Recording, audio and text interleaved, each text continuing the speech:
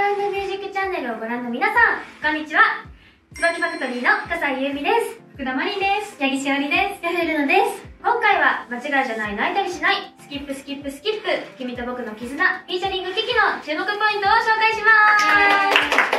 まず、間違いじゃない、泣いたりしないの注目ポイントは、あの、聞き逃してしまいがちなんですけど、はい、2番に入る前の、あの、新沼さんの吐息、わかります、はい、はっ、はっ、てとこがあそこ新沼さんの声なんで、皆さん注目して聞いていてください。はい、スキップスキップスキップは明るくて楽しくてノリノリになれちゃう曲です。えー、こちらの注目ポイントは、福田まりんちゃんと私、八木しおりが感想でバレエのジャンプをしているところです。ぜひ注目してみてみてください。はい、君と僕の絆フィーチャリング危機は、私たちの歴史がたくさん詰まってる、私たちの素を知ってもらえる曲です。はい、皆さん、ぜひチェックしてみてください。ください。以上。